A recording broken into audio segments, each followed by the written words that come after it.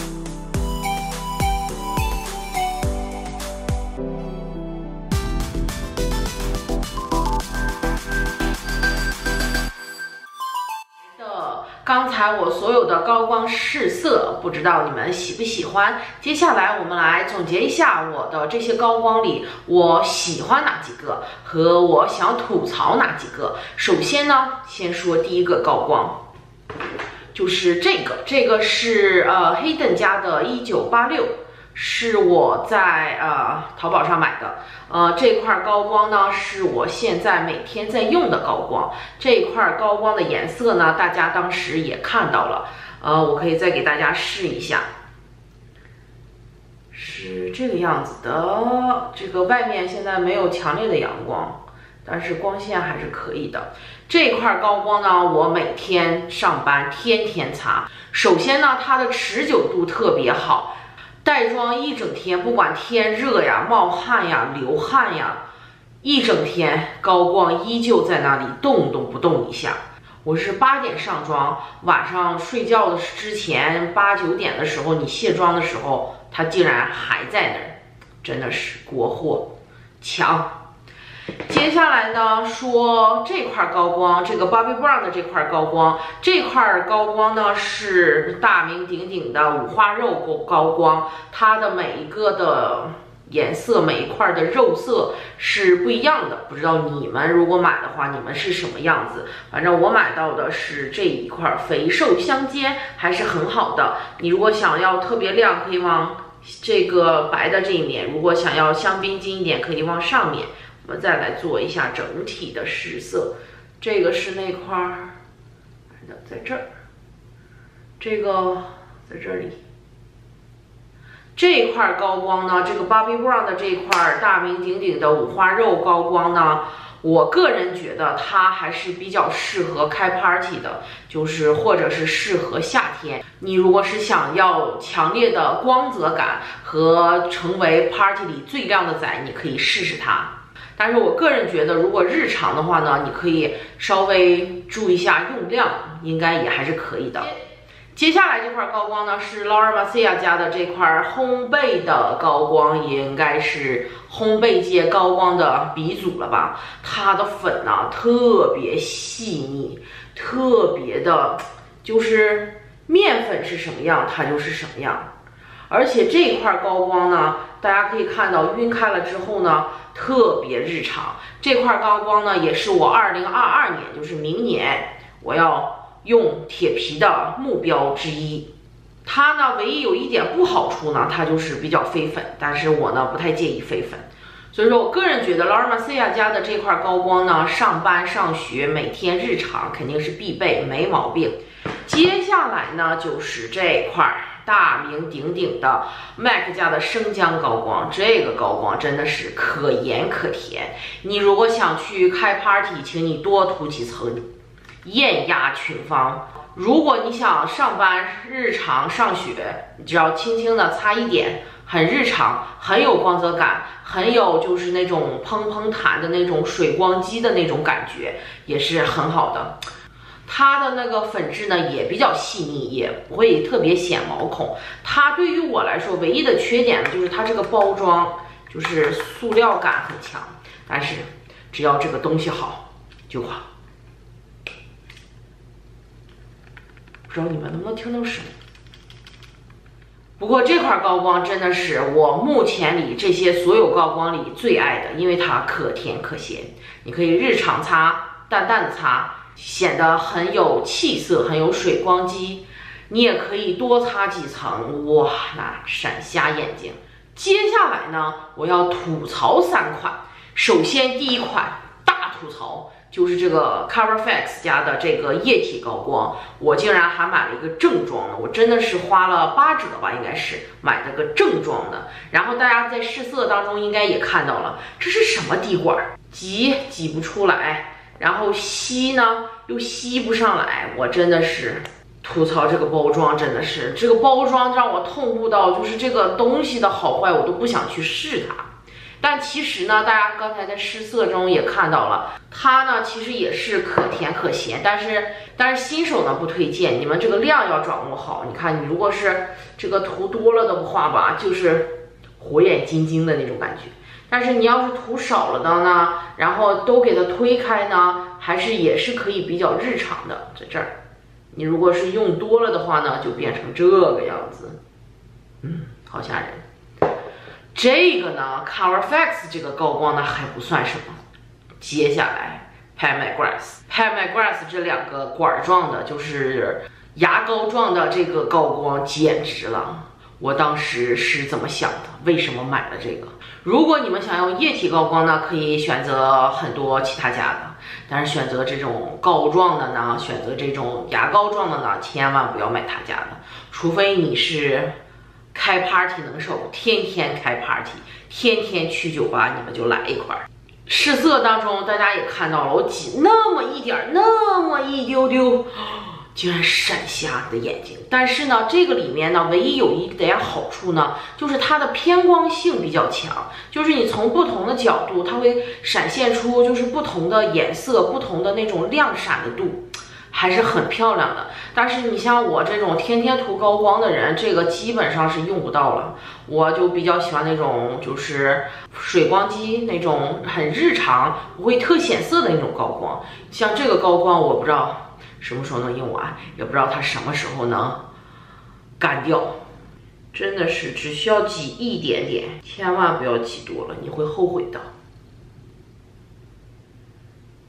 这就是这个是这个蓝色的这个，它呢就是比较显白一点，而且你得快点推开，因为你看现在它就有点推不开了。但是你看它的颜色很漂亮，不同颜色出来的效果不一样。然后是这个粉管的，粉管的这个呢，就是稍微有一点偏玫瑰金一点，也是需要快点推开。这个粉色的这个呢，还算是比较日常。这个蓝色呢，强烈推荐你，如果是开 party 的话，可以尝试一下。尤其是你肤色比较白皙一点的，你如果肤色比较深一点，你们可以试试这个粉色的这个，就是偏一点玫瑰金一点的，还是很好的。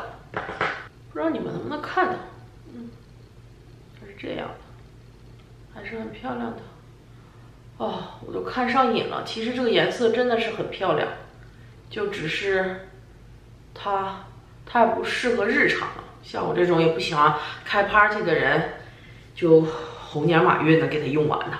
以上呢就是我现在手上所有的高光们，嗯，我在努力一个一个给他们试用掉。嗯，也在被种草当中，所以说将来呢，不知道还会不会买高光，然后将来呢，也不知道会用掉这十三块高光当中的几块。